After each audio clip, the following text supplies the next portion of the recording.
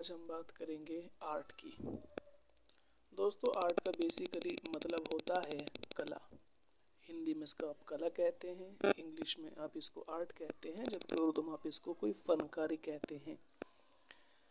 जो word art है, ये एक कमेंडेटरी वर्ड है है ना? यानी ये बहुत सारी मीनिंग को अपने अंदर कवर कर लेता है, जैसे कि आप मूर्ति कला को कह सकते हैं या कोई लिखने की कला हो सकती है, किसी के अंदर बोलने की कला हो सकती है, कोई भी डांस करने की कला। तो आर्ट क्या है? कवरिंग अ मल्टीट्यूड मीनिंग, कि इसके बहुत सारे मीनिंग है। एक नहीं, हज़ार है, लाख है, जिन्हें ना जाने कितने मीनिंग आप आर्ट के निकाल सकते हैं।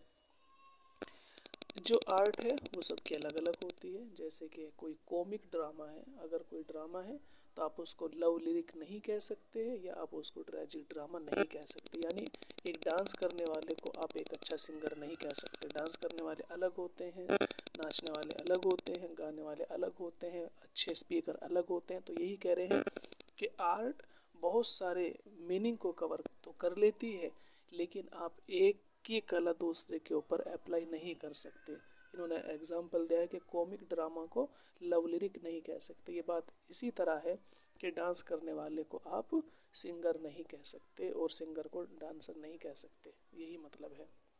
डेफिनेशन देख लेते हैं।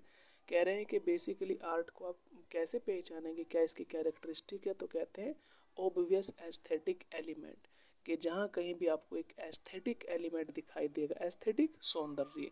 कि अगर कोई बहुत अच्छा बोल रहा है तो समझो उसके अंदर बोलने की कला है। कोई अगर बहुत अच्छा लिख लेता है तो समझो उसके अंदर लिखने की कला है।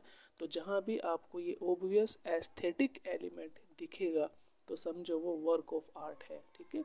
आपको आर्ट ध्यान कैसे रखना है?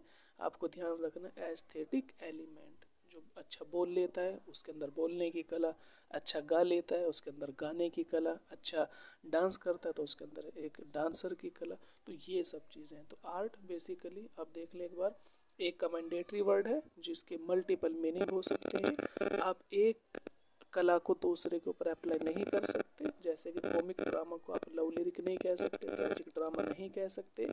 और आर्ट की जो एक कैरेक्टरिस्टिक है, उसकी जो एक विशेषता है, उसकी जो क्वालिटी है, वो है एस्थेटिक एलिमेंट यानी आपको जहाँ कहीं भी एस्थेटिक एलिमेंट दिखाई देगा, वो ही आर्ट कहलाएगी। ठीक है? तो आज के लिए इतना काफ़ी है। मिलते हैं नेक्स्ट वीडियो में।